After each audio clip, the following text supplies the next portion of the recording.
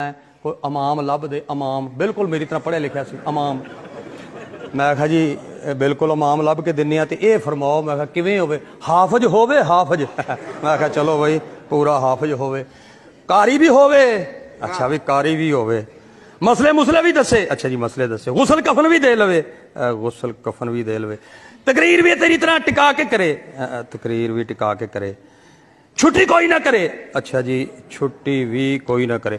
ਸ਼ਾਦੀशुदा ਹੋਵੇ। ਅੱਛਾ ਜੀ ਬਾਲ ਬੱਚੜਦਾਰ ਹੋਵੇ। ਸਾਰੀਆਂ ਗੱਲਾਂ ਉਸ ਕਰ ਲਈਆਂ। ਮੈਂ ਕਿਹਾ ਤਾਇਆ ਹੁਣ ਇਹ ਦੱਸ ਵੀ ਉਹ ਖਿਦਮਤ ਕਿੰਨੀ ਕਰੋਗੇ? ਕਹਿੰਦਾ ਮੌਲਵੀ ਦੀਨ ਵੇਚਦੇ ਨੇ। ਮੈਂ ਕਿਹਾ ਮੈਂ ਸਮਝ ਗਿਆ ਕਿ ਕੀ। ਮੈਂ ਕਿਹਾ ਤੂੰ ਇਸ ਤਰ੍ਹਾਂ ਕਰ ਭਾਵਲਪੁਰੋਂ ਪਲਾਸਟਿਕ ਦਾ ਲੈ ਆ ਮੌਲਵੀ। ਉਹਦੇ ਵਿੱਚ ਫੂਕ ਭਰ ਲਈ ਤੇ ਜਦੋਂ ਨਮਾਜ਼ ਪੜ੍ਹੀ ਤੇ ਫੂਕ ਕਰਕੇ ਉਹਨੂੰ ਨੁਕਰ ਨਾਲ ਲਾ ਦਿੱਤਾ ਉਹ ਤੈਨੂੰ ਵੱਢਣੋਂ ਬਤਕਾਂ। ਹੈ, ਤੂੰ ਦੁਨੀਆ ਤੋਂ ਜਾਵੇਂ ਤੇ ਤੇਰੀਆਂ ਸੱਤ ਜੁਮੇ ਰਾਤਾਂ ਤੇ ਤਕਰੀਰ ਮੇਰੀ ਹੋਵੇ ਅੱਲਾ ਕਰੇ। ਤੈਨੂੰ ਹਿਆ ਨਹੀਂ ਆਂਦੀ, ਤੇਰੀ ਸੱਸ ਹੈ, ਸਾਡੀ ਕੋਈ ਨਹੀਂ। ਤੇਰੀ ਰਿਸ਼ਤੇਦਾਰੀ ਹੈ, ਸਾਡੀ ਕੋਈ ਨਹੀਂ।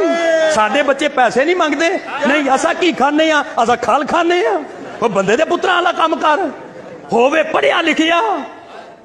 ਤੇ ਉਹਨੂੰ ਵਾਲਾ ਦੀਨ ਵੇਚਦਾ ਇਸ ਵਾਸਤੇ ਸ਼ਫਕਤ ਕਰੋ ਤੇ ਮਿਹਰਬਾਨੀ ਕਰੋ। ਆਪਣੇ ਉਲਮਾ ਦੀ ਕਦਰ ਕਰੋ। ਉਲਮਾ ਦਾ ਇਹਤਰਾਮ ਕਰੋ।